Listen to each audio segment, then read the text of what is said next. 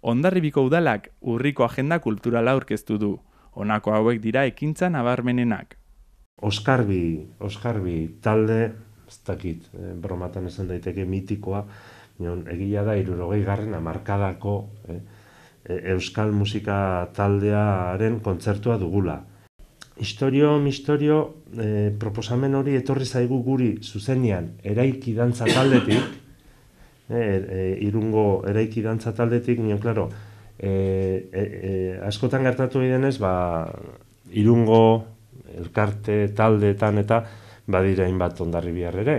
Eta orduan, e, zenbait ondarri biharrek ere adierazi ziguten eraiki dantza taldearen bidez egiten ari zirela oso oso emanaldi dotorea Maritzuli konpainiarekin batera eta Sinkai taldearekin batera planteatzen dugu berriro ere musikeneko banda sinfoniko horri e, entzuteko aukera ematia ondarri biharrei. Musikari gaztiak direla esaten dugu askotan, minon, nik nabarmenduko nuke illa profesionalak direla. E, bi pelikula jarri ditugu e, hilabete honetan, bata da mm, Rush edo Rush, nahi bali baduzia, e, zera, e, Ron Howardek zuzendutako pelikula berri-berri bat, e, bigarrena dugu e, family cinema, e, euskaraz, markatu, erraz gaztelaniaz eskainiko dugu, eta Zarafa, e, family cinemako pelikula hori, euskaraz eskainiko dugu.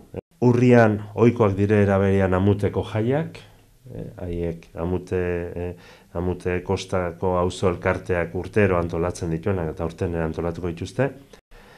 Eta gero ja, hileroko ekintza ohikoak, ez? E, aipatu nahi nuke musika bandak bere kontzertu emango duela, e, zumardikoak elkarteak ere mutxikoak e, martxan jarriko du, Euskara Departamentutik kalean kantuz ere hortxe izango dugu, eta gero bai arte eta brokante azokak ere, ba hilero hilero egiten den bezala.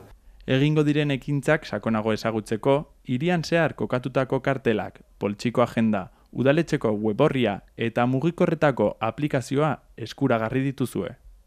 Hone, onjarbi aplikazio hori oraindik ez dago eguneko unian, minon bai, minon bai agenda tala esate baterako webgune, webgunean agertzen diren eh, informazioak, ba, onjarbi aplikazio horren bidez ere zabaldu nahi ditugu.